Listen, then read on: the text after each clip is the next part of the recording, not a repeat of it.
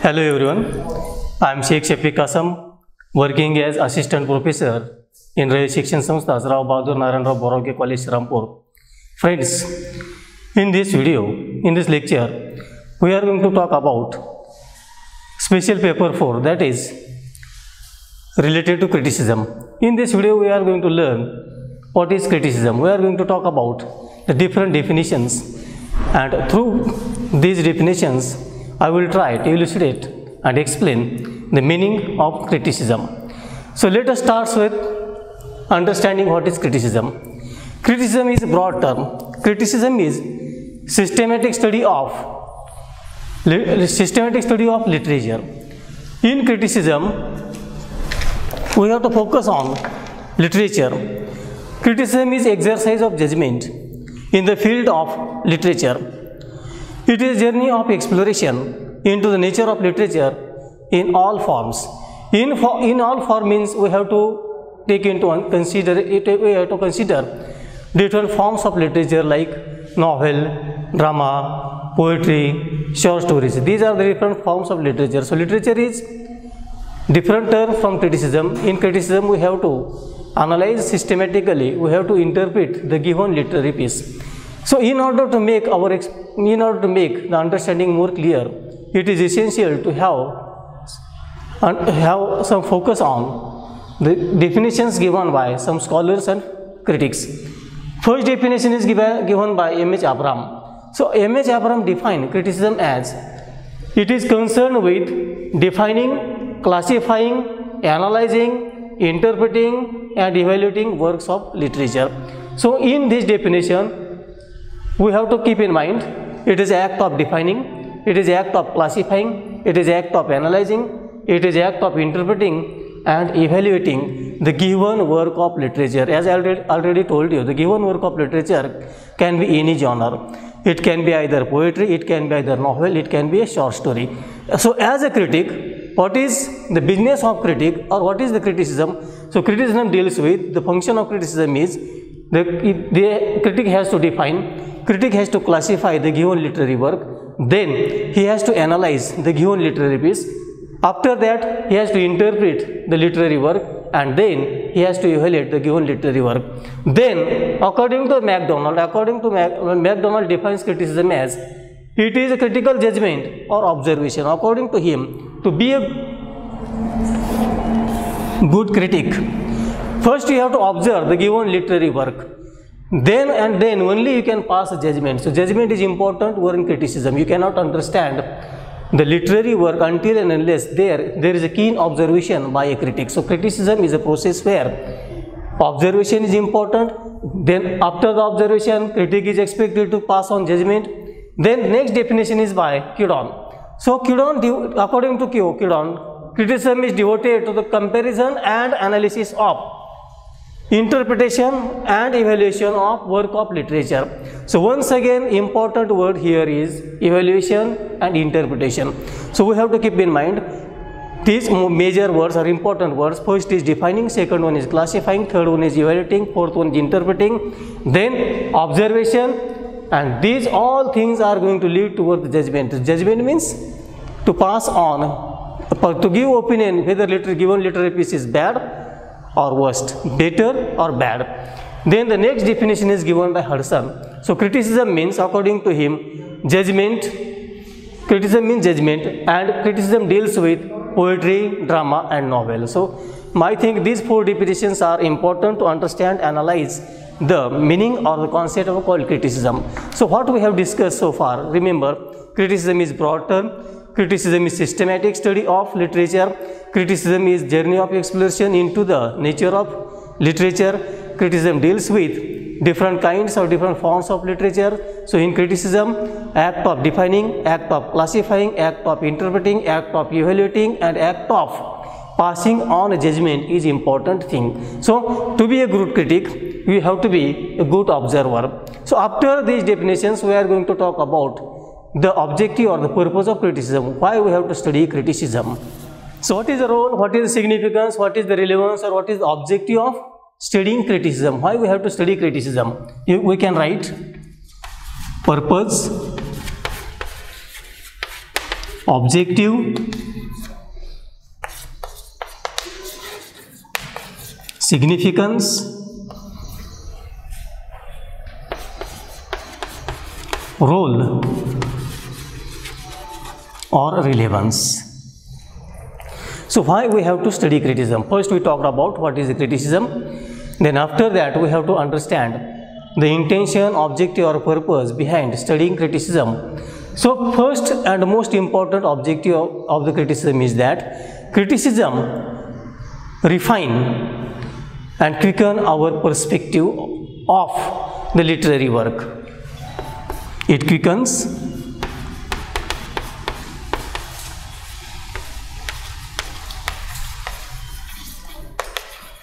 and refines. Perspective of the reader. So criticism is important. Criticism plays important role. The role of criticism is very significant as far as understanding of the given literary piece is concerned. Without the help of critic without the help of criticism the readers will be not able to understand the full meaning of given literary piece. So the first and major important function of criticism is it facilitates our understanding it quickens and refines our perspective about the given literary piece. Then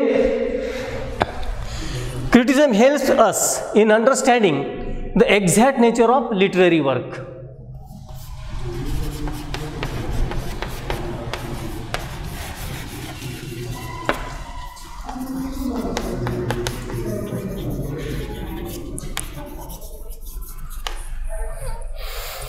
The second point here is that why we have to study criticism. The second important thing is that the criticism is essential tools or means which helps us to understand the exact nature of literary work. Without the help of criticism, we will be not able to arrive at the appreciation of the exact nature of literary work. Then next one is that it widens and deepens our understanding the third significant point is that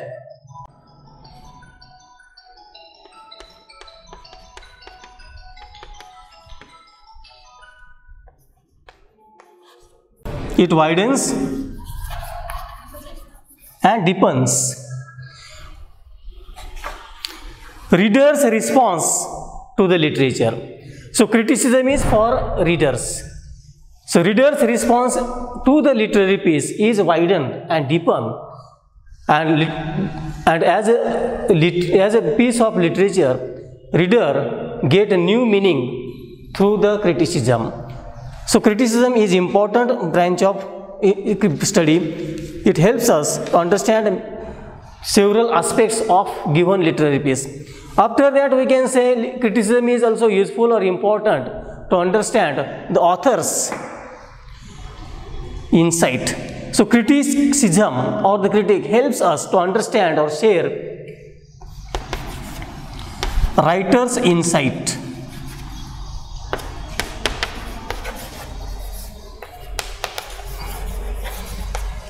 So we get, we can peep into the mind of the writer and it helps, criticism helps us to understand what the writer thinks or feels about that literary piece. Then criticism produces critics.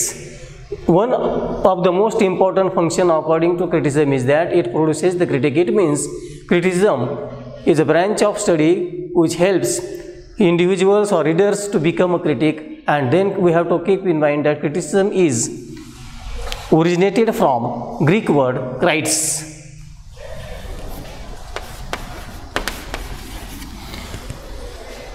The original word is krites, it is of it is a Greek word and from this word criticism is derived. So criticism means or krites means judgment.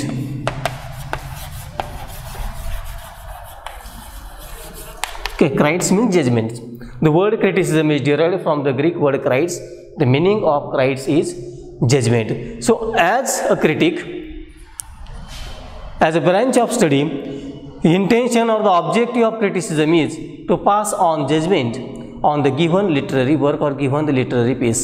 So far we have discussed what are the objectives or the intentions of criticism, why we have to study criticism, what is the relevance of criticism, what is the significance of criticism, what is the role of criticism, and we, have, we have discussed the criticism widens and deepens our understanding, it widens and deepens our response to the literary work, it, it quickens our uh, it quickens our understanding, it refines our standing. Then the objective of criticism is to produce critics.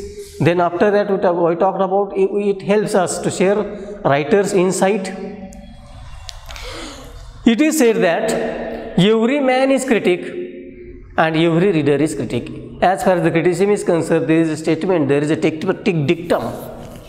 There is a dictum or statement. Dictum means statement.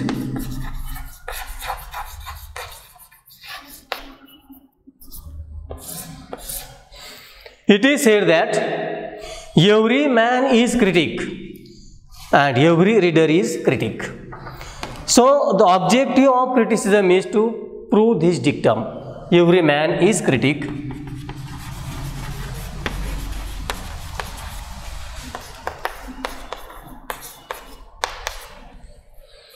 and every reader is critic.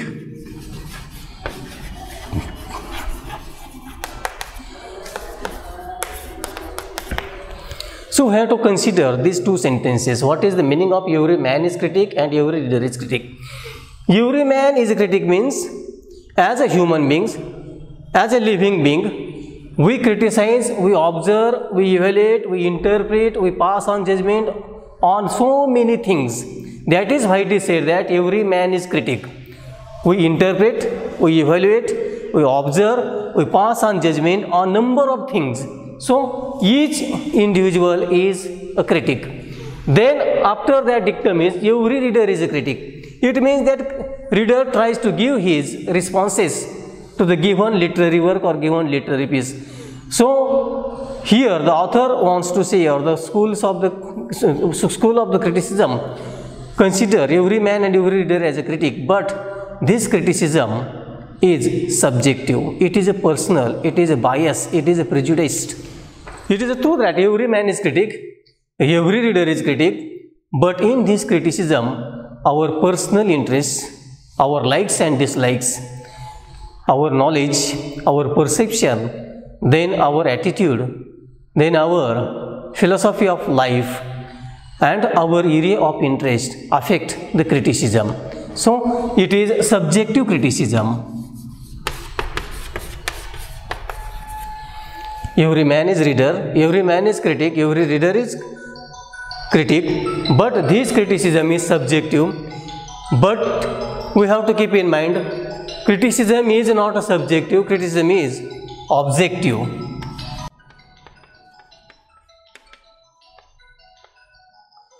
Whenever there will be subjectivity, the critic will try to interpret, critic will try to evaluate a work of art according to his personal interest, according to his likes and dislikes, according to his biased attitude, according to his state of mind. But whenever there will objective, the objective of objectivity is important. The objectivity will leads towards this objectivity is important to understand to understand the true meaning of literary piece. Whenever there will objectivity, there will be lack of personal interest, there will be lack of biases, there will be lack of prejudices and only then we will be able to interpret, we will be able to evaluate, we will be able to pass on judgment on given literary work or given literary piece. So every man is reader, sorry, every man is critic, it is absolutely right. Every reader is critic, it is also absolutely right. But this evaluation, this interpretation, this judgment is personal and criticism is not a personal affair, it should be objective. So criticism is a process of upgrading. Criticism is a process of modifying. Here we have to remember upgradation.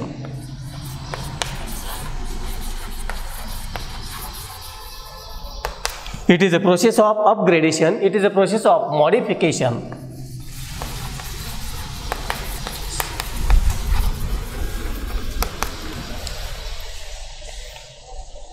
It is a process of upgradation, it is a process of modification of literary piece or literary work. After that, we have to keep in mind ability to compose literature and ability to criticize literature. There are two things in criticism ability to create and ability to compose.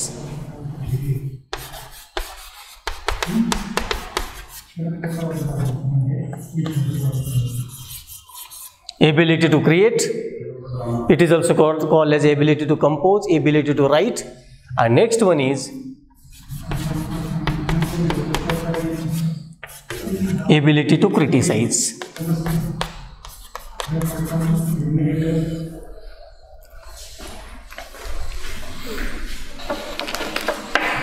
Socrates was the first critic who distinguished between two terms that is two things that is ability to create and ability to criticize. So ability to create is different thing from the ability to criticize. Ability to create as i told it can be the it can be about the writing literary work.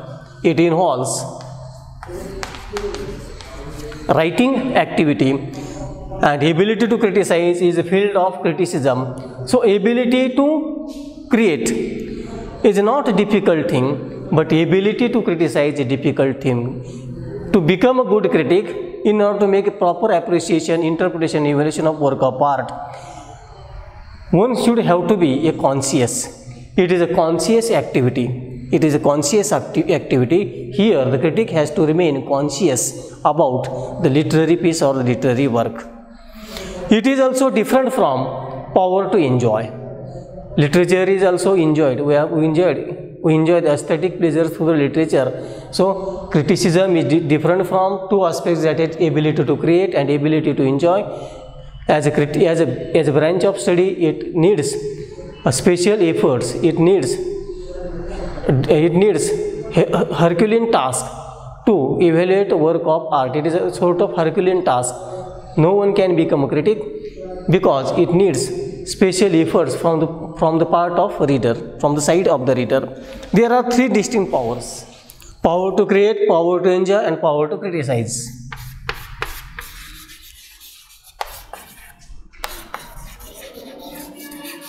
power to create second one is power to enjoy and third one is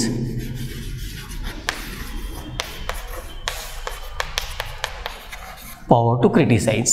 As I told earlier, power to create and power to enjoy are different from power to criticize. So criticism is a different thing from creation and enjoyment of literary work. In order to become a critic, in order to criticize the literary works, literary work or literary piece,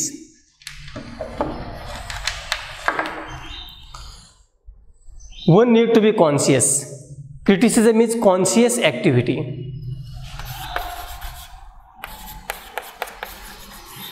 It is conscious activity it needs to be acquired. It cannot be inherited. One has to acquire the skills qualifications whatever the merits are essential to become a critic or to criticize literary work. It cannot be inherited. It cannot be obtained, sorry it can be obtained only by hard work. It can be obtained only by labor. Then it is it, it is a process. And this process appeals to intellectual principles so criticism is a process and this process is related to our intellectual ability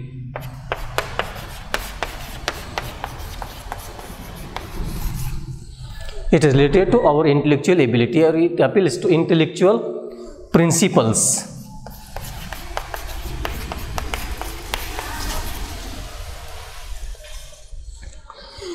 Criticism does not take into consideration the state of mind of the author while writing or composing a literary piece.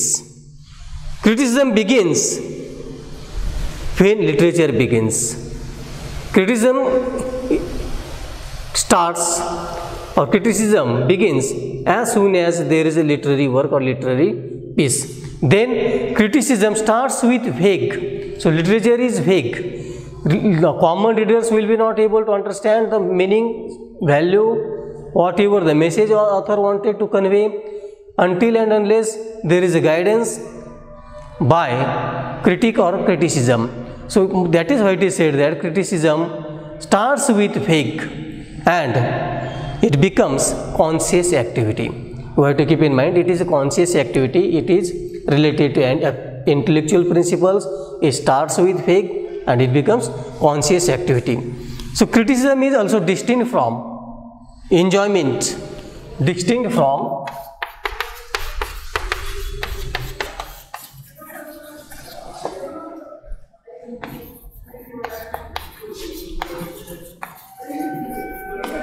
criticism is distinct from enjoyment and creation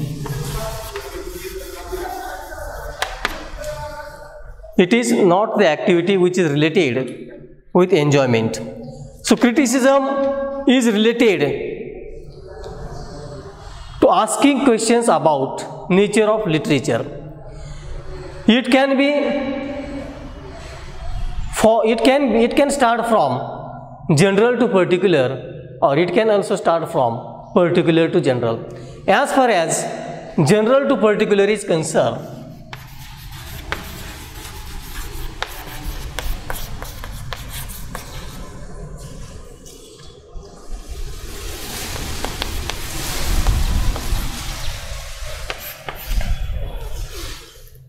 criticism is process. Criticism is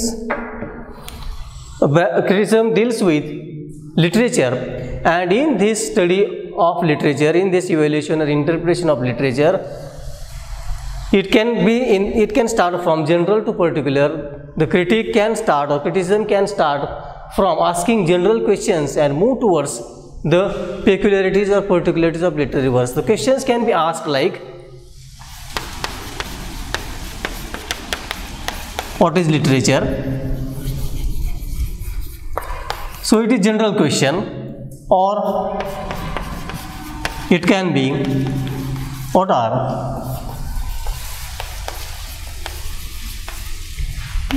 functions of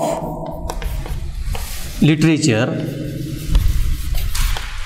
So this is sort of general questions. But sometimes criticism or the critic may start from particular to general.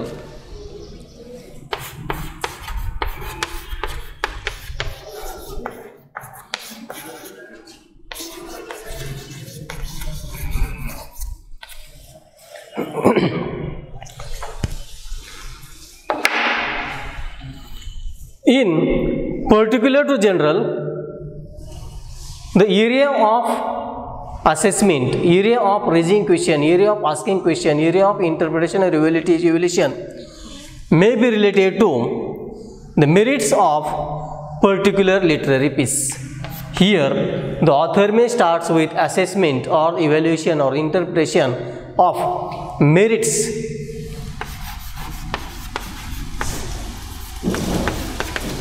Of particular piece of literature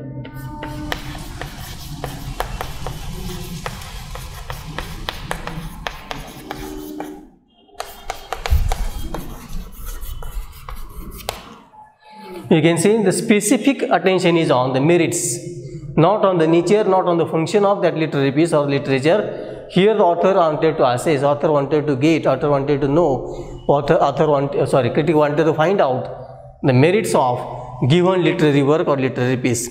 So it can be literary piece can be as i told earlier it can be poem it can be drama it can be novel it can be short story. So here the critic और criticism में investigate mood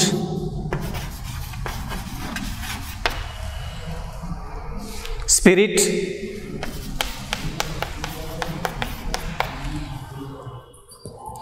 matter and language or technique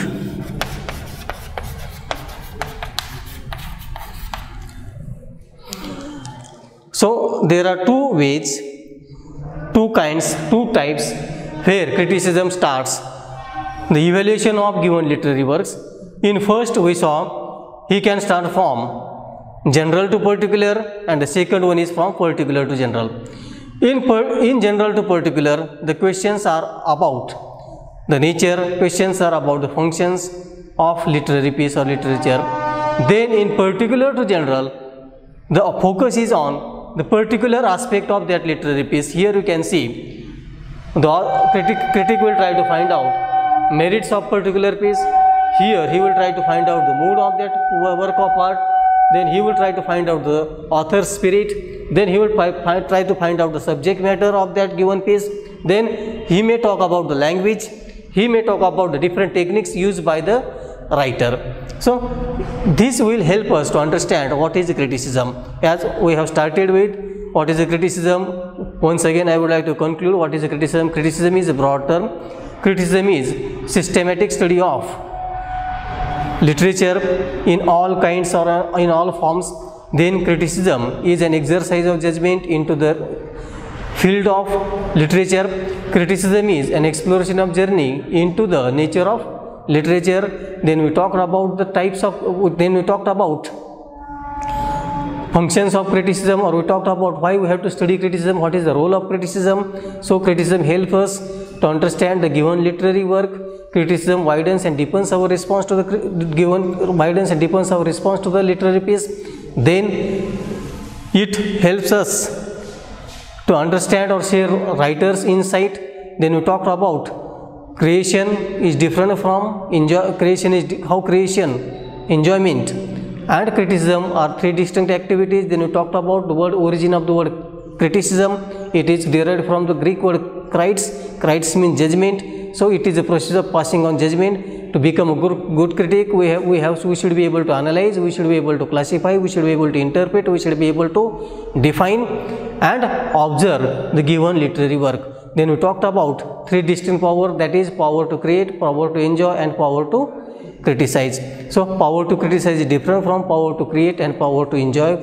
To become a critic we need we need we need some intellectual principles to become a critic we need to be conscious. To become a good critic we need to be good observer. Then after that we talked about how a literary work can be assessed can be examined by the critic. He can start from general to particular or particular to general. In particular to general we saw he can talk up he can study techniques language mood subject matter and uh, spirit of that work of art then in general to particular he may raise general questions like what is function, what are the theme, what is literature, what are the functions of literature. We have to keep in mind all these things in order to understand the concept called criticism. Thank you very much.